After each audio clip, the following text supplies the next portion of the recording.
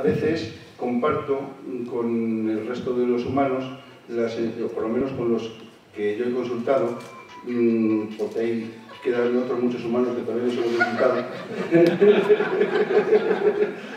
Pero los que se lo he consultado me han dicho que sí, que, que nos da la sensación como de que estamos quietos. No voy a decir parados porque tiene otras connotaciones. Hay gente como que para, tiene de vez en cuando la sensación de que se marea. Dice, es que todo me da vueltas. Mm, claro, es que eh, es para que tomes conciencia de que, de que efectivamente todo da vueltas. Eh, hay conferenciantes que tienen la virtud de hacernos caer en la cuenta de que eso de que las cosas nos den vueltas también por dentro, interiormente, de que el efecto Coriolis, esto no es cachondeo, es una palabra técnica que la podéis consultar, y, resulta que el efecto Coriolis depende del sistema de referencia del observador de un fenómeno. Según donde tú te pongas a observar las cosas, parece que se mueven o que están quietas, ¿verdad? Pues esto es lo que hace un poco Fidel con estas conferencias, que en definitiva, que a ver si se mueve algo. que aprovecho para, ahora que no estoy delante, hacer propaganda de mi libro, por, como Francisco porque de los libros de él, que hable él. En la página 61, hablo de lo que he aprendido de algunas personas. Y entre otras, pues le cito a él y digo que lo que de él he aprendido es que cada día es una ración de vida. De una vida magnífica, espléndida, fabulosa, fenomenal, sensacional, cuando hablamos de una ciudad fantasma o de un pueblo fantasma, es un pueblo vacío. Y a veces me da la sensación de que hay mucha gente fantasma por ahí, no en el sentido de la acepción de que vaya haciendo el fantasma, sino de que está vacío. Y entonces pues me he encontrado con Fidel y me parece que es una persona plena. Es lo mismo que aquello que decía Machado, que decía, en España de 10 cabezas, de 10 cabezas, 9, 9 visten y una piensa. Pues aquí estamos la proporción de las personas que pensáis. El cabezas pensantes. Gracias por haber venido, por estar. Gracias por venir.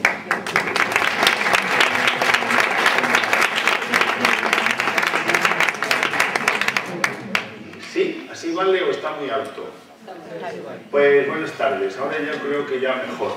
No sé ustedes, pero yo estoy mutante, por eso de los tiempos que cambian tanto y entonces eh, se me ha acabado la temporada de dar conferencias y ahora doy conciertos. Entonces, mm, un concierto de uno consigo mismo es complicado. Complicado porque unos son muchos dentro, que ya lo hablamos otra vez. ¿Quiénes nos hemos visto otra vez? ¡Hoy qué alegría! Eh, los que nos estrenamos hoy, no se preocupen hacia la mitad de la charla uno se va orientando de qué raro es este tío, pero tiene algunas cosas de provecho extraíbles. Entonces eh, empiecen ya a extraer lo que les aproveche y lo que les suene un poco raro pues lo van dejando así de lado, que es como se hacen en la vida las digestiones. Uno se va asimilando los nutrientes y luego con lo otro hace... Y, Sí, háganlo frecuentemente porque todo lo que metemos para adentro tiene una cantidad de componentes, toxinas y demás, que como uno no elimine con mucha rapidez lo que no puede asimilar, pues se intoxica. Y suele echar la culpa al ingrediente, pero yo pasaba por aquí, les juro, y estoy absolutamente decidido a que la tarde sea bueno, buena para todos. Para mí, el primero. Ay, Dios mío, ahora que suena ese, el mío no le ha pagado. ¿Quiere usted una DSL más rápido? Pues he, he, firmado un pacto conmigo mismo que todo aquel que llegue hasta mí haciendo un curro de esos tan difíciles que hay hoy, de apañarte como puedas y acabas llamando por teléfono a la hora de la siesta, uno como yo, a ver si quiere una cosa que no me interesa. Y en vez de decirle lo primero que se me ocurre, le digo lo cuarto, que me lo he pensado más. Lo cuarto suele ser, pues, alguna cosa maja. Por ejemplo, digo, ay, cómo me gustaría tener una velocidad más rápida. Pero con los tres o cuatro meses me han dado de vida, creo que tengo yo ganas de andar cambiando el ordenador. Y me dicen compasivamente, bueno, no se preocupe usted, hombre, lo que me quede, llévelo como pueda. porque comprendo que hay que apañarse. Así que vayan ustedes poniéndose la impresión que yo no he traído nada más que esto. Yo estoy también en este trabajo empezando.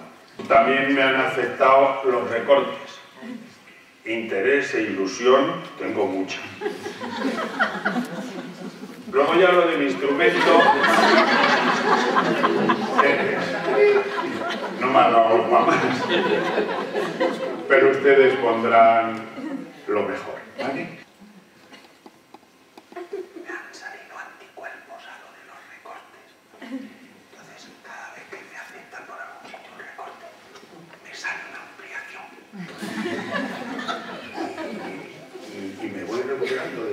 Todos los que me han dado, ya me he repuesto. Y además de concierto, quiero que sea la celebración de mi quinto nieto que nació ayer.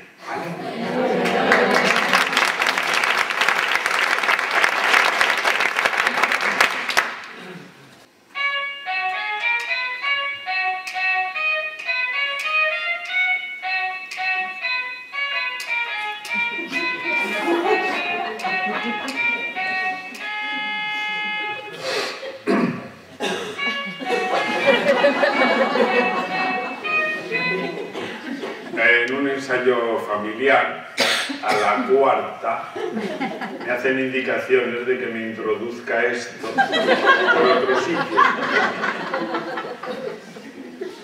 En mi casa tienen menos sentido del humor que ustedes. Gracias por reírse cuatro veces ante una repetición repetitiva. Por eso mm, traía yo esto para empezar, para recordarles a ustedes y a mí que lo de las repeticiones repetitivas, repetirse, reiterarse, coger costumbres y rutinas,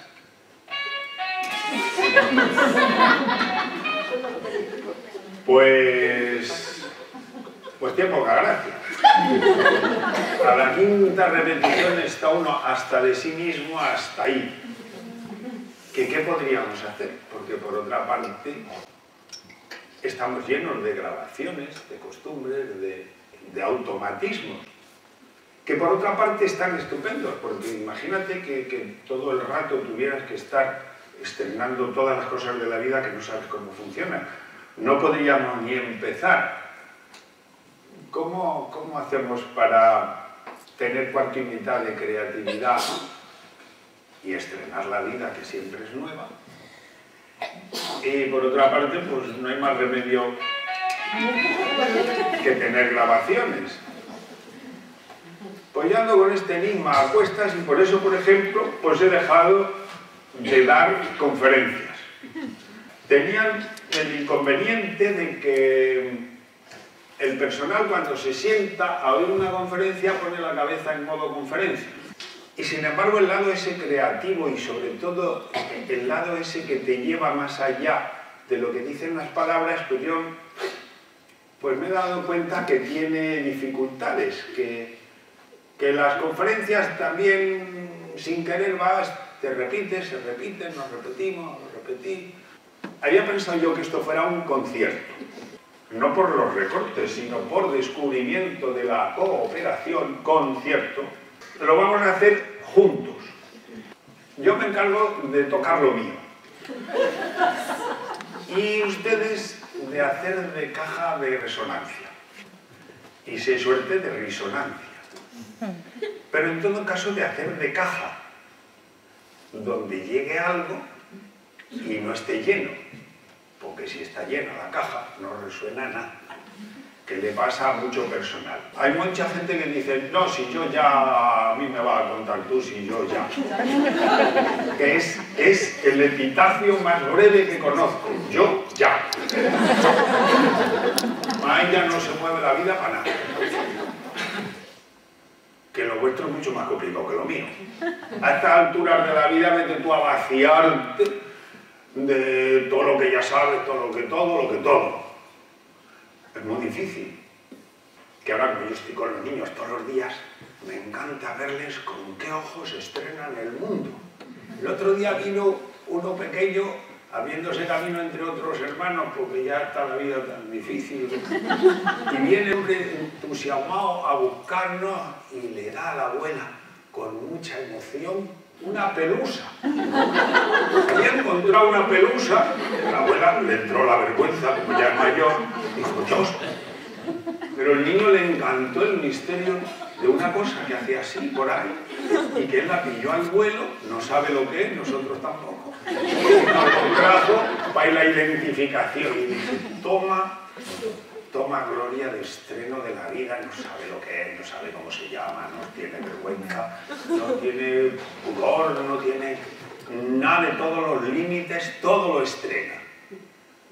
Yo ya sé que se llama pelusa que es una guarrería. y una vergüenza, y, no y tratamos de inocularle al niño la vergüenza, y, y en la próxima vez, si hay visita sobre todo, no vengas ahí con un puñado de pelusa, que se llama educación, enseñarle todos los límites de los, nuestros límites. Em, ¿Cómo haríamos para hacer un hueco? Todo lo que parece por costumbre que es, si cambias el enfoque, es otra cosa. Así que ustedes verán, yo me voy a encargar de tres tonterías, unas cosas que he traído, pero estas cosas solo parecen aparentemente cosas, porque quieren decir otras. Por eso, por un lado, esto es un concierto en colectivo, y por otro, se cuenta con que cada uno esté muy atento a su propio concierto a ver qué, qué te dice esto. Así que empezamos. ¡Pam!